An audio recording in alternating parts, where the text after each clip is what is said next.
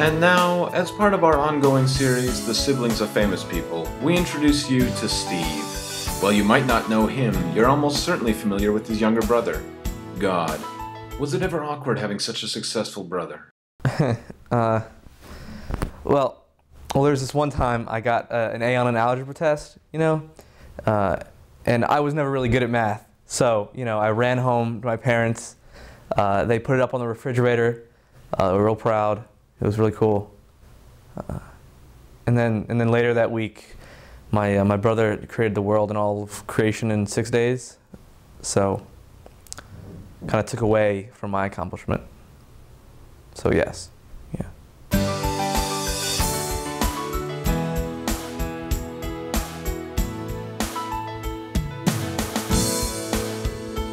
You don't look as old as I would have expected. I mean, how'd you expect me to look? You know, uh, I was born in the time before time. You know, in the uh, the heaven beyond the heavens, uh, in the most distant of all the eternities. So, you know. And where do you live now? Uh, Rockville, Maryland. After graduating with a degree in English literature, Steve spent several years as an unemployed writer. They they would always say, you know, we uh, we need references. And I would say, oh, I've got this great one. I've got this great one. And then they'd say, no family members. So I, have had three books published. Well, uh, self-published. Uh, and none, none of them have been quite as successful as, as my younger brother's book. For the last two years, Steve has been teaching creative writing at a local community college. He is not one of the more popular professors. Nietzsche. That's generally considered the only intelligent thing Nietzsche's ever written.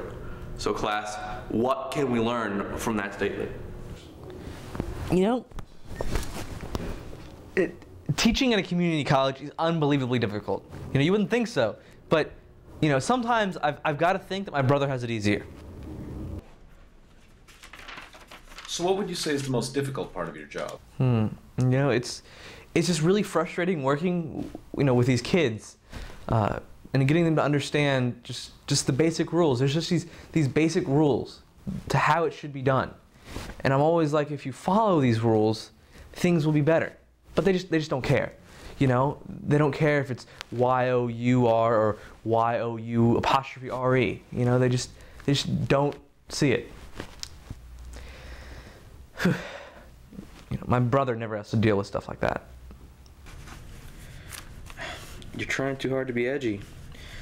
Don't use so much profanity.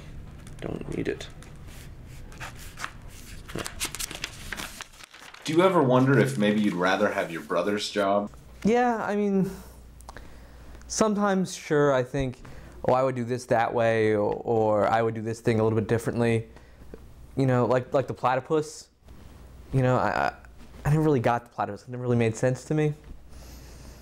But, uh, you know, it's his calling, uh, not mine. You know, I don't tell him how to rule the world. He doesn't tell me how to teach my kids creative writing. So we have that relationship. Hey, Steve, did you eat my peanut butter? Oh, uh, hey, I'm in the middle of a, th of a, of a thing. Oh. Yeah. Hey. So anyway, man, I don't mind you having some, but can you at least put the lid on when you're done with it? We talked about this. Yeah, sorry about about that. I I must have forgotten about it. Just common courtesy, man. Uh, sorry about about that. Uh, that was that was my roommate, uh, Alan. Yeah, Alan. Do you get to see your brother much anymore?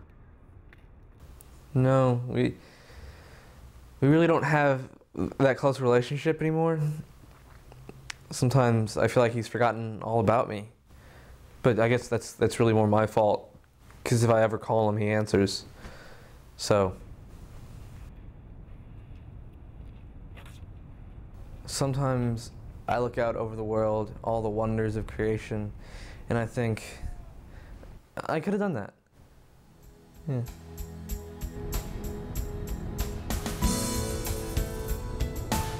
Please join us next week when we continue our series with the profile of Anthony Diamond, brother of Dustin Screech Diamond.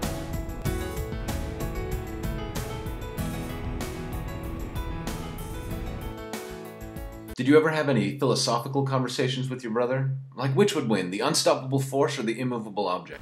Chuck Norris. oh man, my brother loves those jokes too. Those are good ones.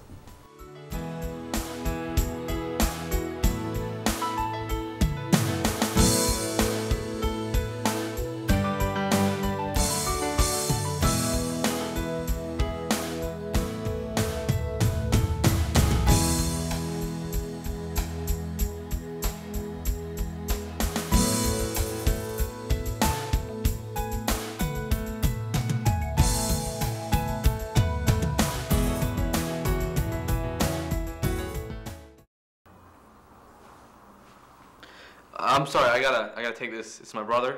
Just give me a second.